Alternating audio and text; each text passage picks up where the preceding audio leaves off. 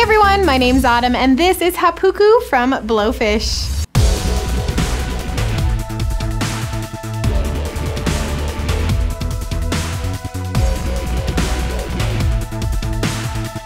This wedge is made with a polyurethane upper. I love the asymmetrical straps. They're easy to put on. There is adjustability here with the hook and loop strap as well. Soft lining and a lightly padded insole for comfort. You have a cork wrapped platform wedge going on, and it's all on top of a man-made outsole. Keep that tropical feeling with you wherever you go wearing these wedges from Blowfish.